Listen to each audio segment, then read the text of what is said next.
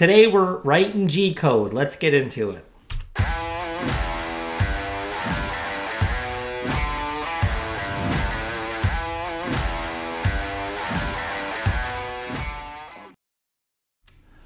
Okay, so you might recognize Mozaik's big brother, the optimizer, where all the manufacturing side of Mozaik goes down, at least for the CNC part. You might be able to get cut lists and stuff from normal Mozaik, but out of the optimizer, you will get all the CNC operations, cut lists, all that stuff.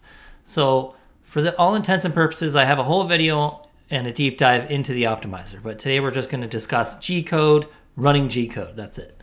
So we're clicking optimize. We're just going to re-optimize the parts that I have here. So you have these patterns. If you hit generate G code on the main pattern, when you're viewing all the patterns, it'll give you an option to run all the sheets that you have that you're viewing here. You can also run multiple materials if you want to just run all the sheets for all the all the stuff that you have currently ran for this job. You can also create flip sheet programs or individual flipped sheet programs. So this is going to give you an individual part program if you want to rerun it with it flipped over, say bumped into some bumpers or uh, pins on your CNC machine. You would click that if you have flip side operations. So we're not going to do that. You don't have much control when you do that part. What you do have is a lot more control when you click a sheet, uh, let's say generate G code for one sheet, and then you hit calculate. So this is going to give us what the operations are. So it allows you to cycle through. You can click this one. So you have your drilling, five millimeter, your eight millimeter drilling, which we have on these doors. You have the pocket, which is all the dados and the rabbets. And then you have your outs, your outside perimeter pass. So if you hit this gen, this G code button here after you've hit calculate, you'll get this little pop-up box that says create primary sheet program.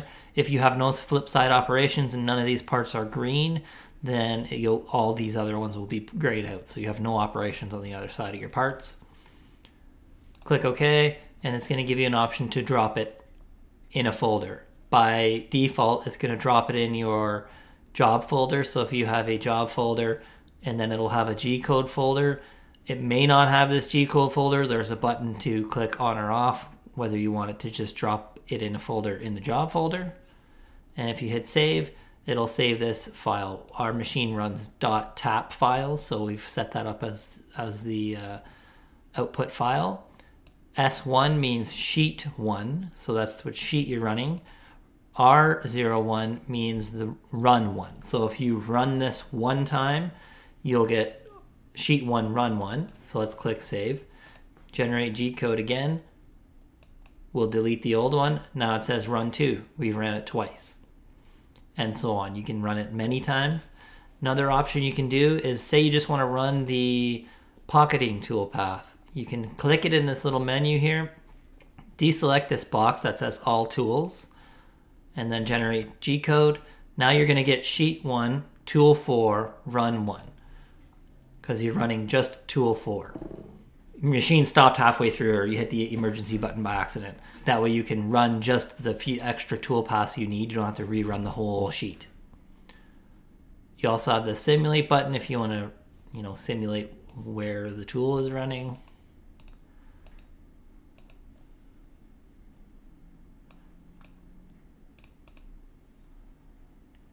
Tells you where the start and end points are. It's kind of helpful sometimes. Stop that. If you click view all patterns and you hit generate G code, you may run all these sheets in one shot. As it says batch code G code completed, six files created. Now, as far as this G code tab goes, I'm not exactly sure why this tab even exists.